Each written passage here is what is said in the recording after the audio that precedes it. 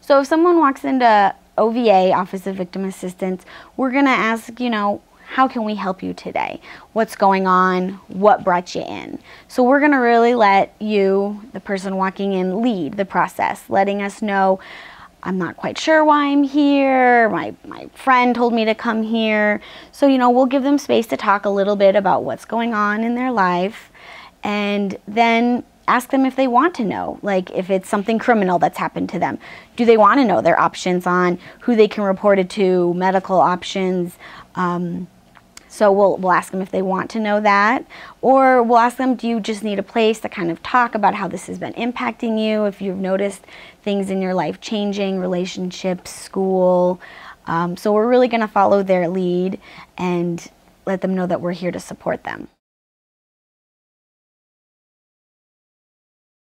Um, a reason someone could use our office is they've experienced a crime or something bad has happened to them. And so we're trained therapists and advocates.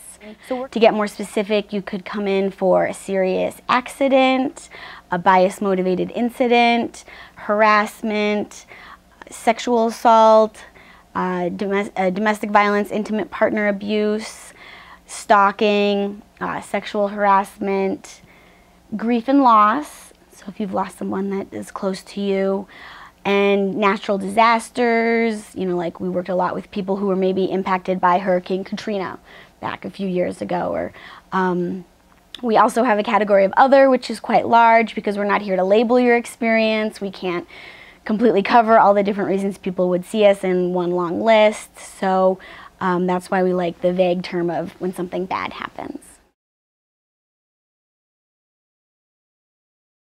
Advocacy to me is someone who can support you. That's someone who is knowledgeable about different systems and can help either explain your options or guide you through those systems. A lot of times you hear the word advocate, again, associated with law enforcement or with the criminal process, and those are areas that we are knowledgeable and can let people know about how to use. Um, but we can also be an academic, advocate where maybe you're not sure how to approach a professor about why you've missed class because you've had this, you know, unfortunate thing happen in your life. So as an advocate, our office does something called professor notifications. And what that is is that we would ask that you come in and meet with us, talk about what's going on, and then we can work with you on potentially sending out an email to your um, professors explaining in your words or using vaguer language that something has happened and how that typically can impact people. It gives a little bit more validity and validation when you then follow up with your professors about how to meet your academic excuse me, academic obligations. So really our notification is just to make that path a little easier to follow up with your professors so you can talk with them about how to proceed.